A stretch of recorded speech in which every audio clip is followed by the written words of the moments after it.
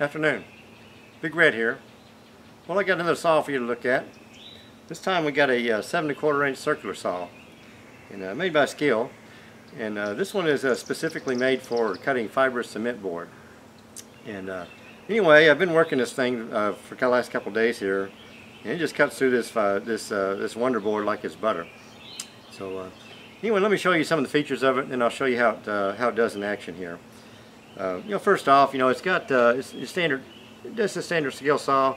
Uh, this one does have a magnesium plate for it. Uh, it's got your you know your beveling for uh, up to 45 degrees and depth adjustment. Uh, 15 amp motor. And it's got an onboard wrench here for your blade. It also comes standard with a with a Diablo polycrystalline diamond tip blade for cutting cement fibrous cement. So um, anyway, I got that blade on there. Uh, you know, like a, you can use it for wood too if you want to, you know, use a regular uh, standard wood uh, wood blade on it. Uh, you know, it comes with a with an eight foot hose on it, and it's got a sleeve attached to it where it keeps the cord out of the way for the cutting surface.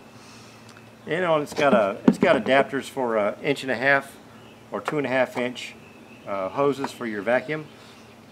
And um, anyway, let me let me show you what it uh, does here in action, and uh, and we'll see what it does. Okay. Okay, let me get my uh, safety protection on. And I got a pre-cut line here.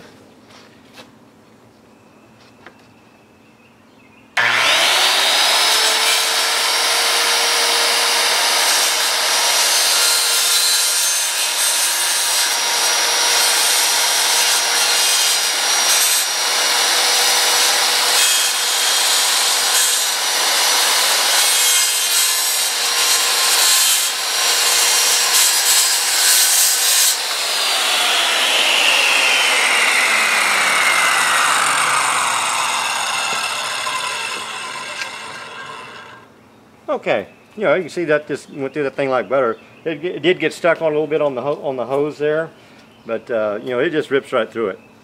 So um, anyway, if you're looking for a uh, you know for a Skil saw that or circular saw that's uh, you know it's multi-purpose, uh, check out this uh, this Skil saw that's uh, you know that's also designed for the cutting the fibrous cement board. So anyway, hope you like it.